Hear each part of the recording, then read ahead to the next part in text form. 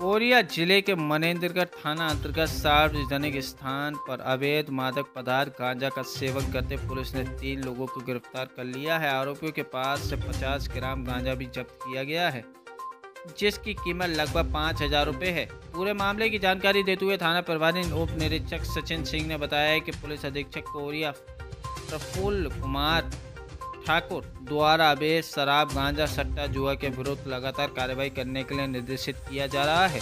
इसी दौरान मुखबिर से सूचना मिली कि कुछ व्यक्ति सार्वजनिक स्थान पर चिलम में गांजा भरकर पी रहे हैं। मुखबिर की सूचना पर थाना मनेन्द्रगढ़ पुलिस द्वारा तत्काल टीम बनाकर मादक पदार्थ, गांजा भरकर पीते तीन लोगों को पकड़ लिया है।